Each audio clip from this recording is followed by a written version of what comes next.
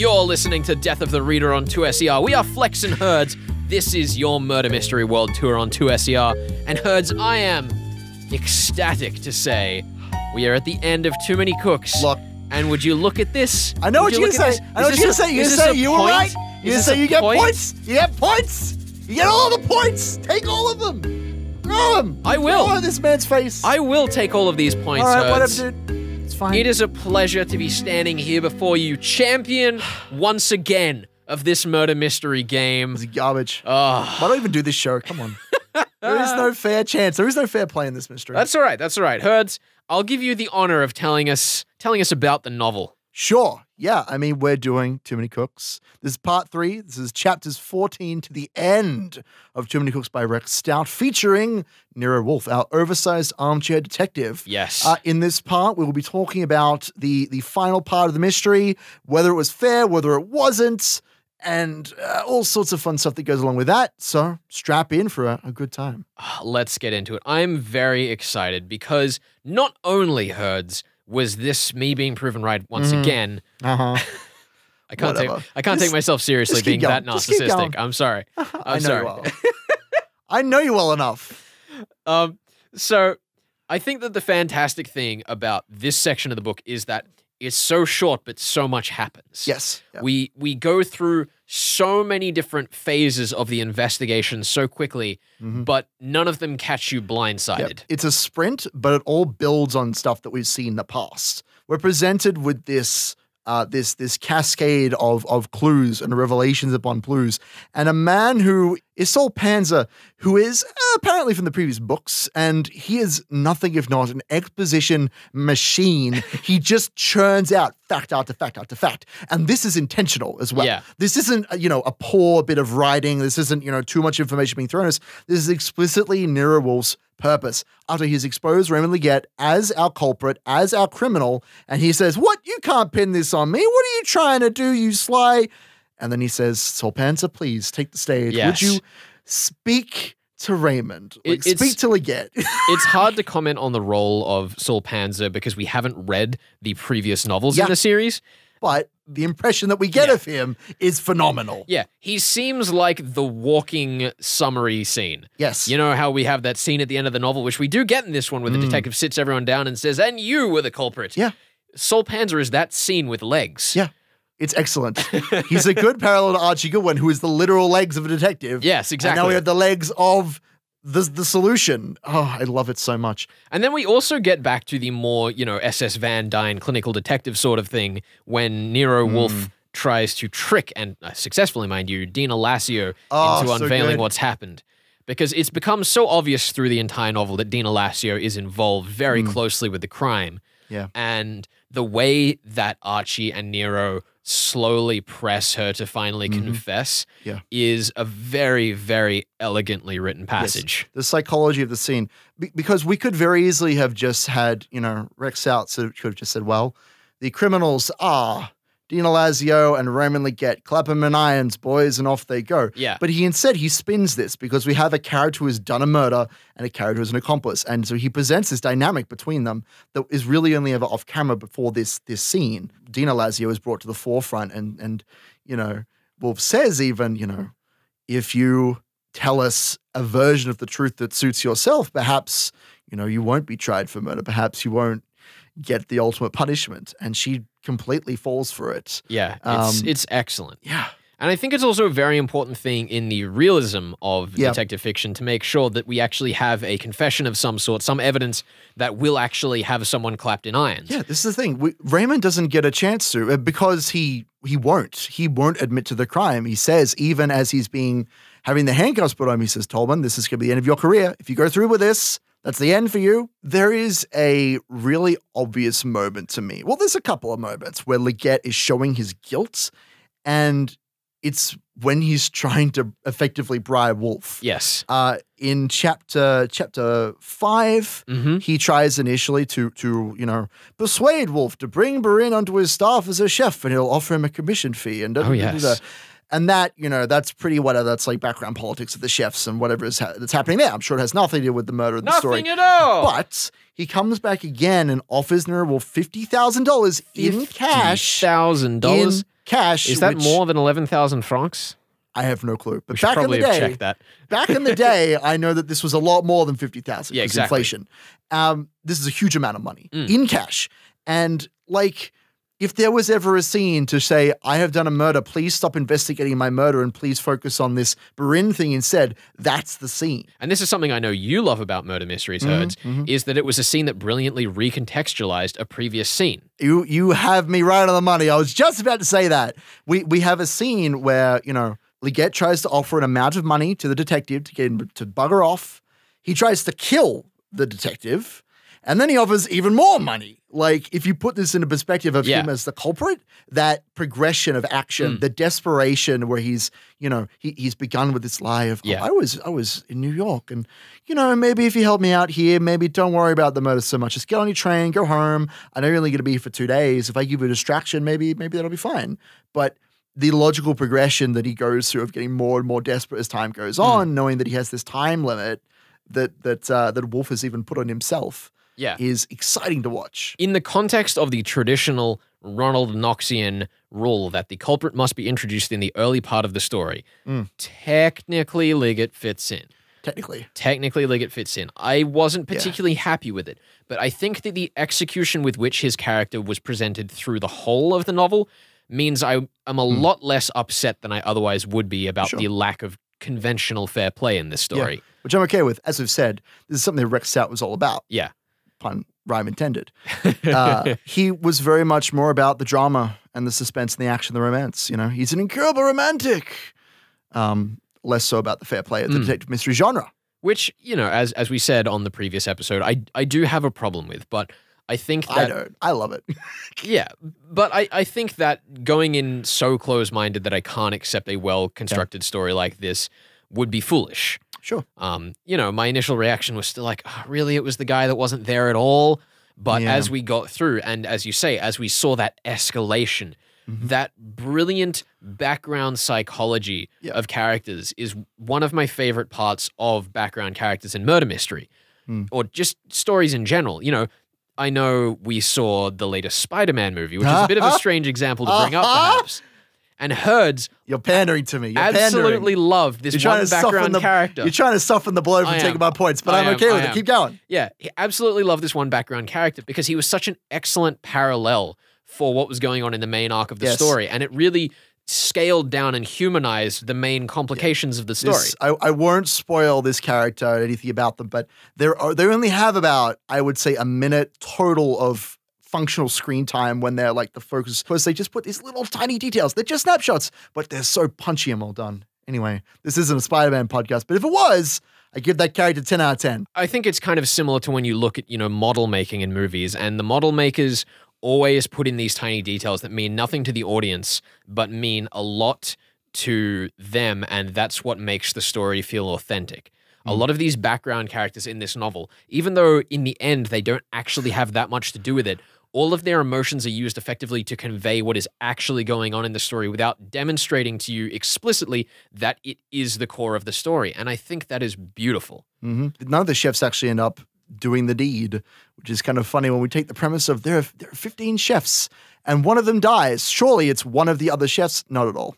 I think if I had to pick a book out of any of the ones that we've covered on this show as the most accessible murder mystery, Yeah. It would be a very tough call between this one and the Three Taps. I was gonna say the three taps is has a beautiful sense of humor. yeah, and and for a lot of the same reasons too.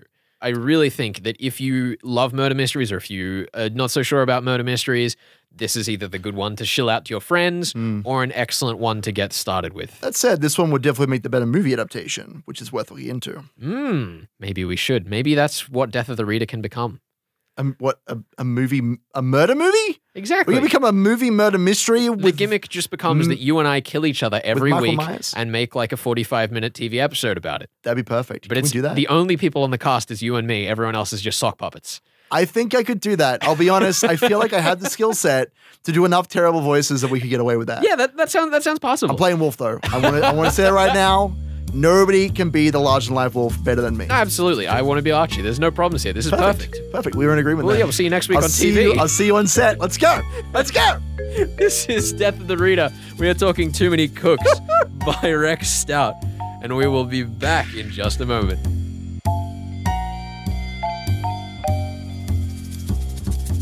You're listening to Death of the Reader on 2SER. We are Flex and Herds, and today we're joined by Callan Boys, National Food and Wine Writer for Fairfax, and a food traveller after the heart of our dear Archie Goodwin, our Watson in this murder mystery game this week. Callan, welcome to the show. Hello. So, Callan, food is often a matter of passion for us, be it vehemently defending our favorite restaurants or sticking doggedly to the undeniable belief that everyone's mother is the best chef in the world. How can we safely discuss food without incurring a dagger in our back? Have a very good legal team behind you at the Sydney Morning Herald. That's, good one. That's what I find Yeah, it's a good works. um, I also find it works really, really well to make sure you always say tastes like, Ah. reminds me of. Mm. It could be that kind of thing. You don't want to say anything that's too certain. Otherwise, you'll have restaurant legal teams come down you like a ton of bricks. That's if you give negative reviews. Right. Which mm. we don't really do that often at, well, I don't say Fairfax Media anymore. Channel 9 is our new overlords, mm. or not even Channel 9, just 9. Ah, this is true. Yes. so it's very rare we do negative reviews because we want to encourage people to go out and eat. Mm. If a restaurant's incredibly bad, we just kind of don't write about it. We'd rather celebrate the good than throw shade on the bad. That being said, if something's really calling out for attention, like there was a restaurant today that opened in Melbourne Mm. or it opened last week, we reviewed it today in Melbourne for the age, and I think it's just called Pink, the restaurant, and everything's pink.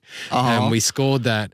The Melbourne reviewer scored it 8 out of 20, which has been the lowest score we've done in a Fairfax publication in a long, long time. Was was the meat pink? I haven't read the review yet. I just saw the score and I clicked on it. I was like, oh, that oh, that'll be when I get home after deadline. I'm going to read that. But um, yeah, there was a lot of horrible looking things in there. Anyway, but look, you just just just don't be too much of a wanker about it. And at the end of the day, you're talking about food. You're not trying to solve the world's problems. Although some chefs might think they are. So, Well, yeah.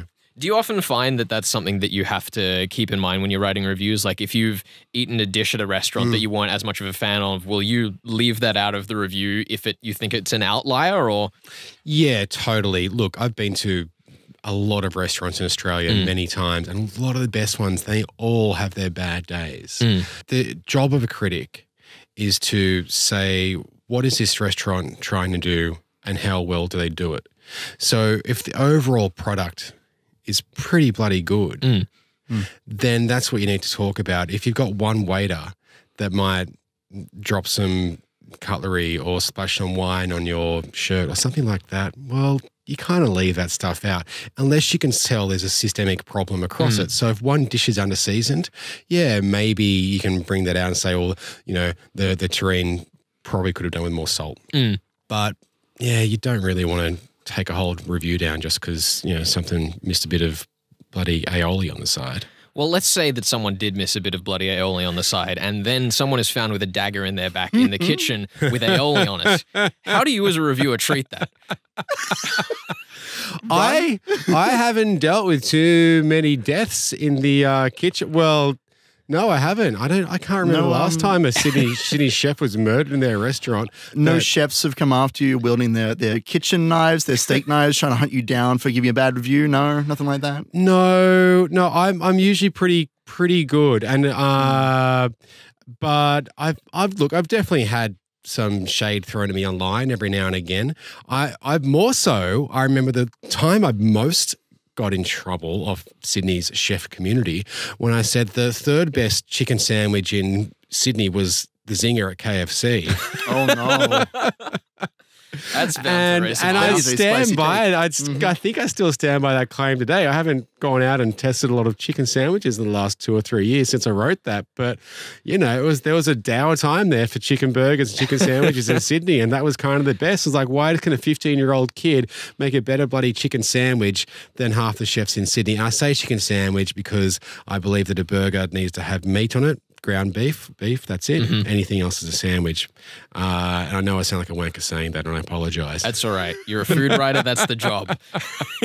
now, you mentioned kind of the, the egos of some chefs and how you scarred them with KFC. Too Many Cooks, our book this week, is full to the brim with foodie egos from Rex Yeah, Stout's yeah. 15 Masters of the Cooking World.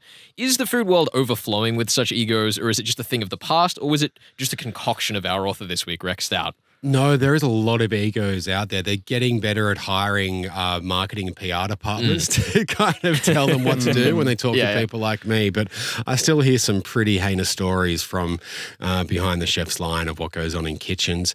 Uh, but mo- look, it's probably better. It definitely is better than what it was uh, five or 10 years ago. Definitely better than it was 20 years ago, 30 years ago. That boys' culture, that brigade culture is slowly coming out of kitchens. But um, look, it's still certainly there and uh, in, in, a, in a lot of places. But look, gee, I mean, look, you've got open kitchens now in a lot of places. That was never really a thing say 25 years ago. So you've really got to learn to uh, respect your staff and kind of put your ego away and just talk to people in a nice, calm, serene manner about what they might be doing wrong and then give them a good bollocking after service instead when the customers have good, gone home. But look, I mean, with, with chefs and, and ego these days, social media has opened up a whole bunch of opportunities to get out there and see what people are doing and learn from that and say like oh okay well i've been doing it this way for such a long time. Ah this guy in like copenhagen or Yeah. this guy in brazil or wherever it might be which i had no access to that before. And i can currently see what's happening in real time in those restaurants all around the world. I think that's great to kind of dig bits and pieces of influence Yeah. without stealing dishes. That's one thing that chefs do get quite upset about. Oh, though, really? Yeah, yeah. Is if you steal a dish, like blatantly. And I am damn sure that there is a number of chefs, and I won't name them, in Australia that go through like cookbooks from like weird Scandinavian countries and that kind of thing, and Yeah, just yeah. kind of like take you know bits and pieces here and there, and think no one's ever going to know. Yeah. I mean, that's just like one of the main chefs in our story. Uh, Jerome Berin goes to great lengths to defend his recipe for. you going to try pronounce this one, Herds? Uh, saucisse minuit. yeah. I hope. Hey, you've Uh, practiced. I have. I've been learning since the first episode, my friend. That's great. How how was I out of ten?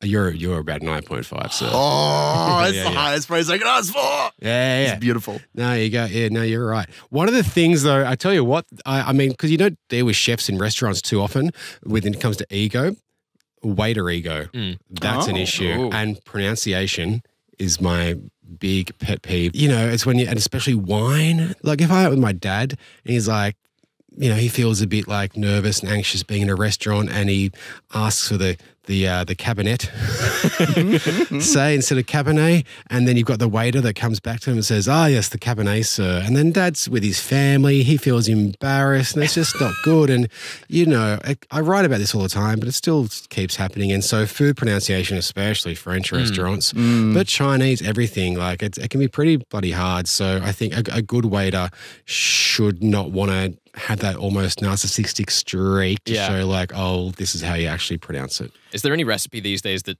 chefs are trying to crack that one restaurant in the past has had, or one that has kind of been lost to the annals of history that they're trying to bring back?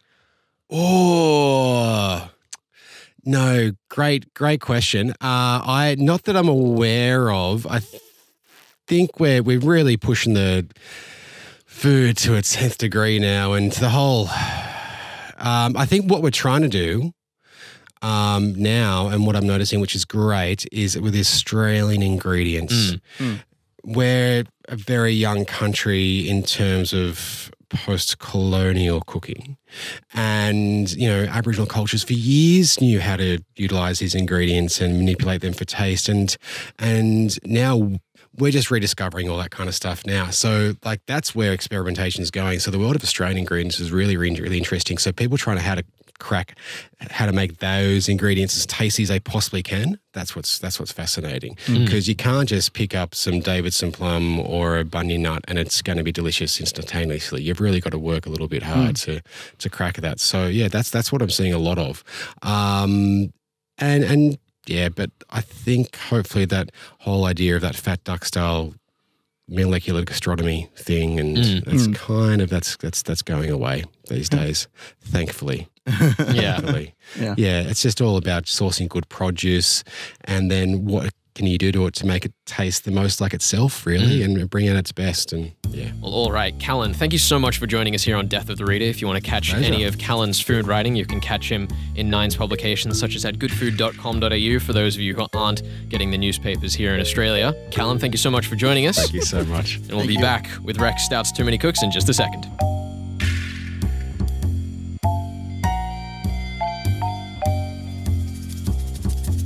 You're listening to Death of the Reader. We are Flex and Herds. This is Pause for Effect. Your murder mystery world tour.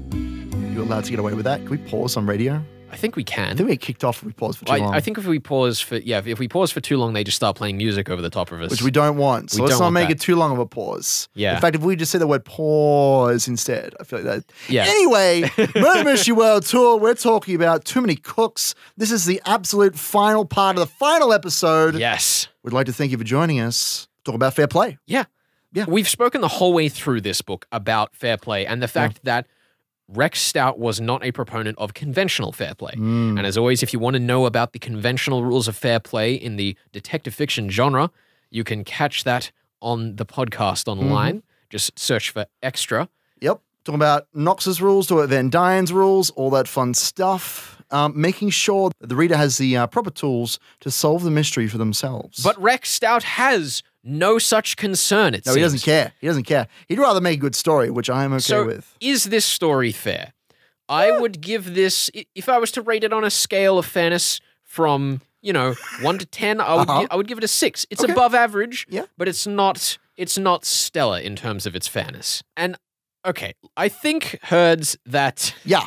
I think that this story has perhaps swayed my heart a little bit. I thought going into this, when we got to the end of chapter six, Hmm. that I was done for.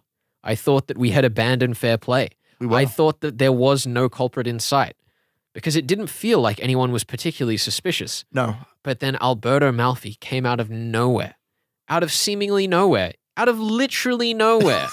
You're right. He doesn't have any business being in that scene except to say, What about the Zlotta guy? And it's like, Who's Zlotta? Well, he was mentioned in the first part of the novel. He's, he might be important. No, no. he's a red herring. You know, if we look back at all of the clues, for example, as I stated in the previous episode, I said that if you look at all of the people that had motive presented in chapters one to six, all of the people that had motive to kill Philip Laszio were, you know, all disconnected. None of them really seemed weightier than one or the other. But the only person that tied them all together, other than Philip Laszio himself, Hmm. was Raymond Liggett as the Sure. owner of Philip Laszio's workplace. Yeah, for sure. I do think that you could very easily make this uh, a proper fair play mystery. Yeah. I think that all you would really need to do is, uh, barring, you know, changing the narrative yourself, but you could set it from the perspective of Nero Wolfe. I Mm. think that would be very easy. A lot of the clues that we kind of talk about in the later chapters are things that Nero Wolfe was aware of or was suspecting way back when. You know, he, says, you know, this is something that Raymond Liggett said. This is when he talked about the sauce printemps, Yes. which was not mentioned in the newspapers. What a which is- ridiculous clue that was. Exactly, because it, it's it's not an obvious one. It's a it's a hand wave remark. Yeah. It's something that Nero Wolfe apparently you know draws attention to in his mind, but we're never really discussed on, on camera, so to speak, in the pages of the novel. And he gets confirmation of it when he has his telegram come Yeah. over, which is also not explained to us. Yeah. The the easiest way to make this fair play and also to, to follow the rules that we've kind of been looking at in the previous novels would be to say, here is Nero process. He tells, even he tells Archie, you know, Mhm. this is why I sent this telegram. This is what the telegram says because it's in code. And codes are kind of weird in murder mystery Yeah. novels when you're not supposed to kind of solve them. Archie is such an entertaining perspective that Yeah. I don't mind at all. No, for sure. Nero Wolfe sitting in an armchair thinking about things for 17 chapters would be excruciating. I would be very interested actually in reading a novel which is purely set from the perspective of an armchair detective Yeah. who never leaves the room and the clues are like, I heard a gunshot.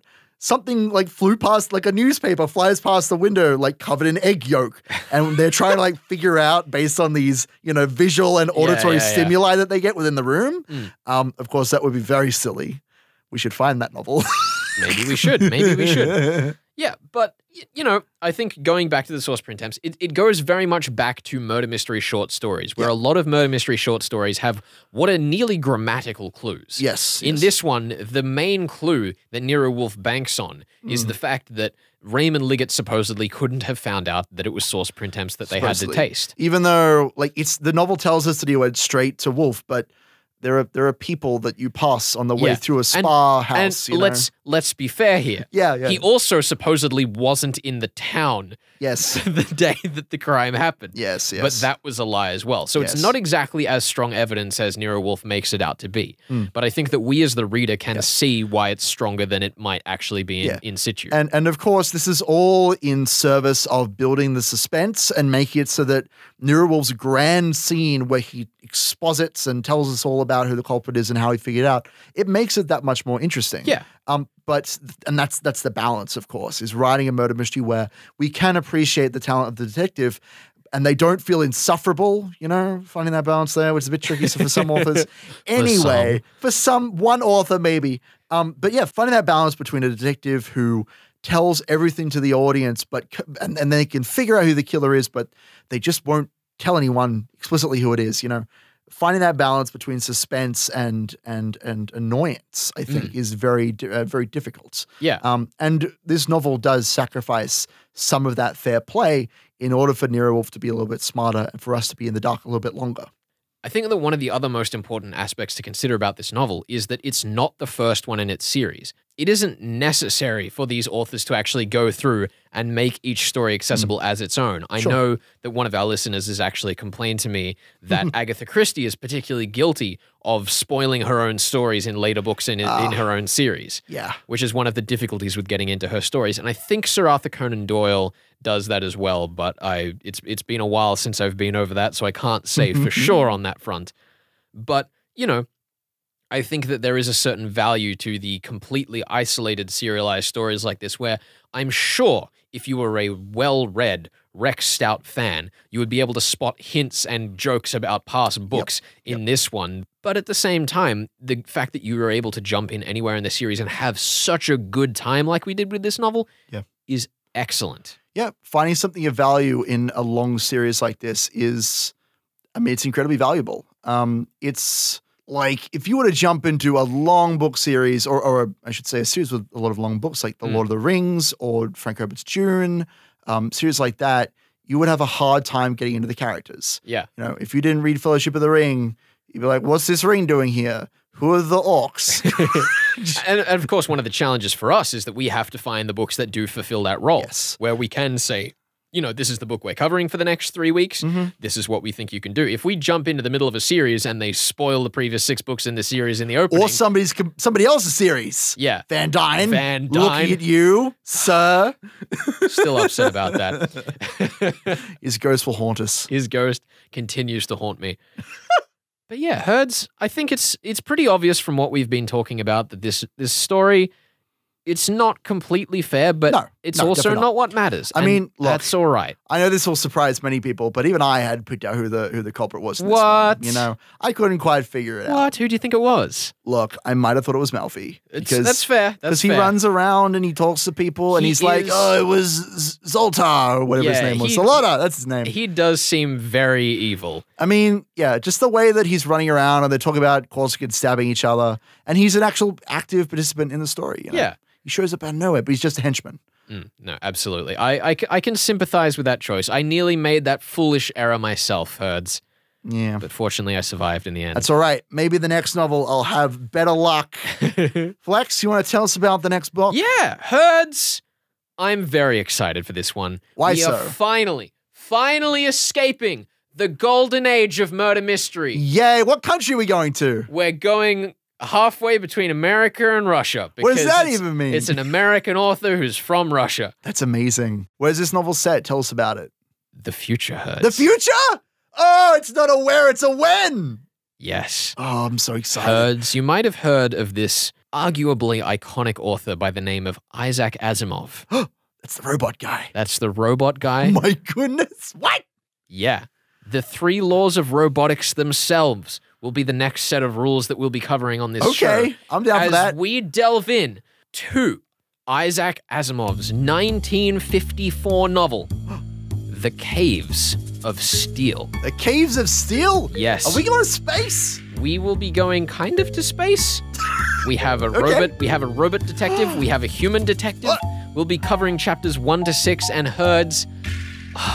I am so excited to delve into sci-fi and murder mystery. I'm so ready. I love sci-fi. This has been Death of the Reader. We hope you've enjoyed Too Many Cooks by Rex Stout as much as we did. We'll see you next week.